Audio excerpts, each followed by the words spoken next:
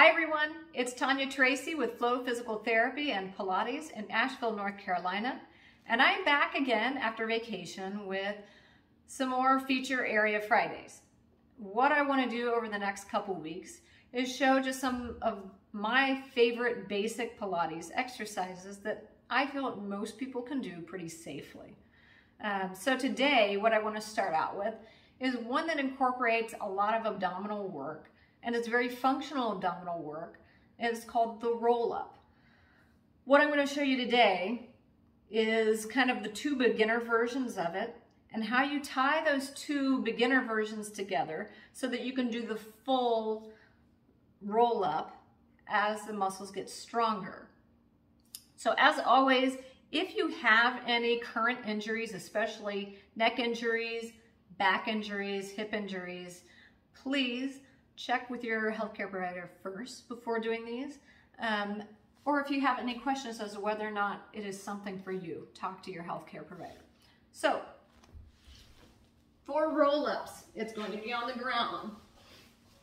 So a full roll-up, you normally have your legs straight and your arms straight to start out with. I'm going to show you kind of like the pre-roll-up version, which is really just like a chest lift. So when you're doing this, you're going to lay on your back. Starting version is knees bent. To make it harder, you can have your legs go straight. I'm going to show you knees bent first. You can start with arms overhead when you do this one.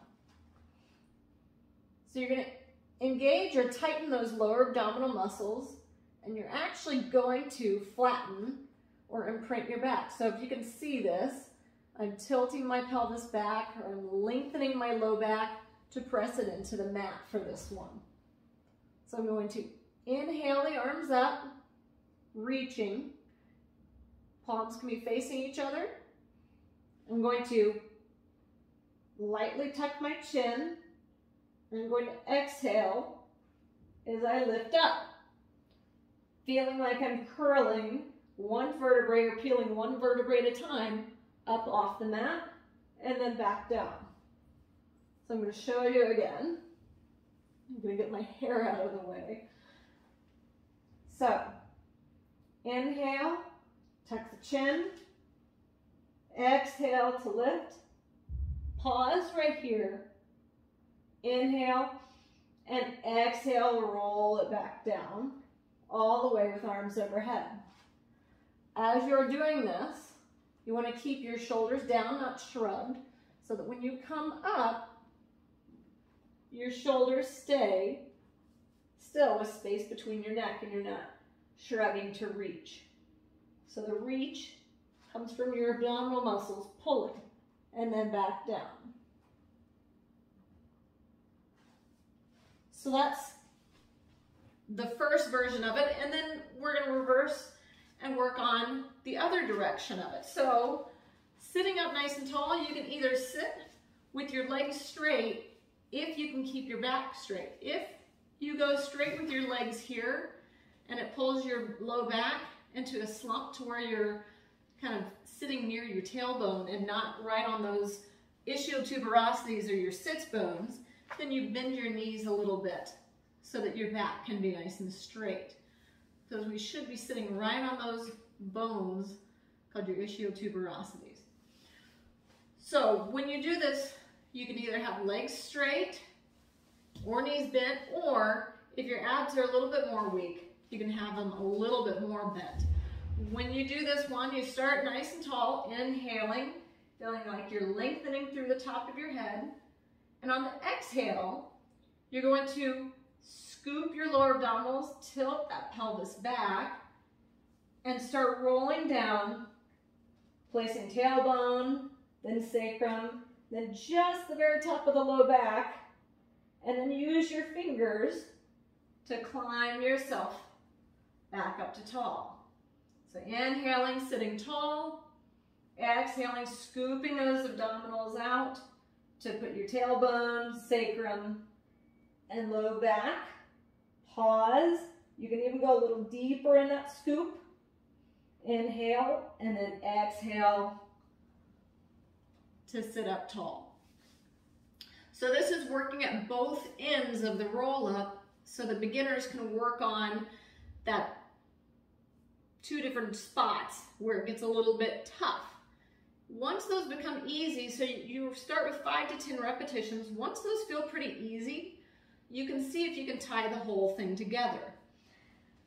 One caveat, when you're rolling down, if you feel like there's a lot of tension in your hips, let your knees flop out and the soles of your feet touch to kind of this diamond leg shape to turn off those hip flexors a little bit. So these muscles at the front of the hips will try and help your abs do the work. So what that would then look like instead, again, nice inhale, tucking that low back, rolling down, trying to keep those knees out, pausing, inhale, and coming back up. So those are both ends of the roll up.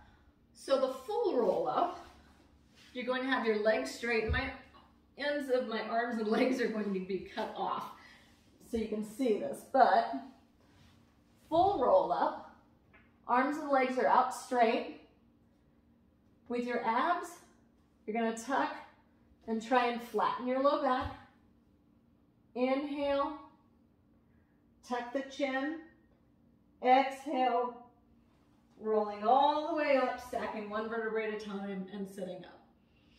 Inhale, exhale, roll that low back down, each vertebrae on the mat till shoulder blades come down, arms back overhead. So inhale, tuck the chin,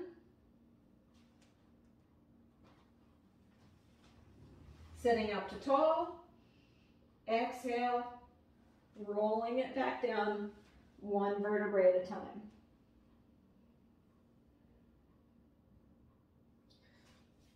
So same thing, five to 10 repetitions. So that is the roll up, and that's the way you can start it out if you've never done it before and play around with it and gauge it a little bit. Same thing with that full roll up. If you start feeling the fronts of your hip doing more of the work, do that diamond leg shape so that you're turning off those hip flexors. The other thing you want to be careful with, with both of these, is that when you roll up, you don't do the arm fling, which is a quick flick up. It should be a nice control lift, not a fling of the arms. When the arms are flinging, it means you're using your arm momentum to help your abdominals. So it's not really your abdominals doing the work, it's momentum coming along. So nice, slow, and controlled when you're doing these to really focus on that core.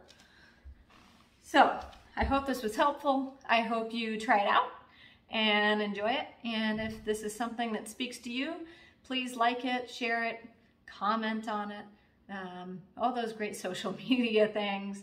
And um, I will see you all next week with a new one.